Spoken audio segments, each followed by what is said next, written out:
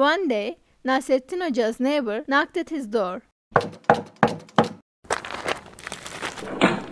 Oh, hello, my friend. Welcome. Hello, Hoca. I have some task on my farm today. May I borrow your donkey? But Nasrettin Hoca was not eager to give the donkey.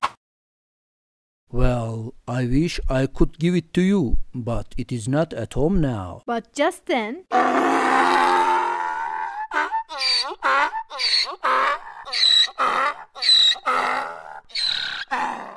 just after hearing the donkey's voice, Hoca's neighbor said, It is unacceptable. You are saying the donkey is not at home, but I could hear its voice.